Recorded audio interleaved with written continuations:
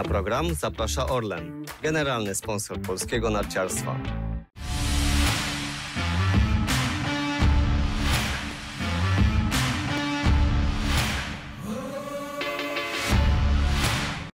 Dojazd ekipy skijumping.pl na wszystkie skocznie świata zapewnia Real Logistics, partner logistyczny serwisu.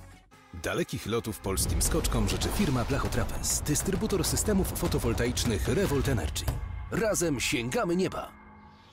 Ptaszki nam tutaj e, ćwierkają, śpiewają, ale ty w takim śpiewającym nastroju nie jesteś po Bergizel. No nie do końca trochę te skoki dziś nie, nie wyglądały tak jakbym chciał. E, te cele, które miałem na dziś założone nie, nie do końca udało się zrealizować, więc no taki ciężki konkurs. Duże wyzwanie, bo po wczoraj pewnie było dużo wniosków, dużo pracy. E, no jak najbardziej, dużo, dużo wniosków, dużo też e, walki o to, żeby jak najlepiej się zregenerować, żeby wrócić do sił. E, no i cóż, nie, nie do końca wszystko się udało dopiąć. To brak sił sprawił, że technika gdzieś tam się rozjechała? Nie, nie, myślę, że nie. Trochę, trochę nie umiałem tu odnaleźć się na, na rozbiegu, nie umiałem złapać dobrego czucia w pozycji dojazdowej i stąd się wydaje te błędy. Ale ten pierwszy skok to chyba najlepszy podczas całych dwóch dni. E, tak, tak, to, to był najlepszy tu skok, chociaż e, dziwne, bo za progiem mi się wydawało, że będzie jeden z gorszych, ale, ale nie, faktycznie był jeden z lepszych, taki już się wydawało, że coś, coś może za, za, załapie, ale, no, ale wróciliśmy do, do starego. W drugim z czego to wynikało, bo tak spadło to brutalnie wszystko na zaskok.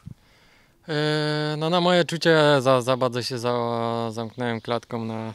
Znaczy ogólnie start z belki e, poszłem trochę za agresywnie klatką, e, za bardzo się złożyłem i tu jest dosyć mo, mocne przejście i no, wpadłem tam w kolano, byłem na, na palcach i poleciało to do przodu, a było z tyłu, więc bardzo, bardzo ciężko było z tego jakieś metry fajne uzyskać.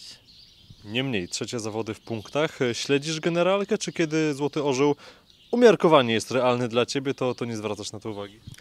E, Nie, zwra- zwracam uwagę, patrzę tam z tego co widziałem, e, jestem bodajże na 17 miejscu teraz, więc e, no fajnie by było do tej 15 zagościć, ale no najważniejsze, żeby, żeby złapać dobre czucie znowu w skokach, znowu trochę frajdy i żeby fajnie zakończyć sobie fajnymi skokami ten turniej.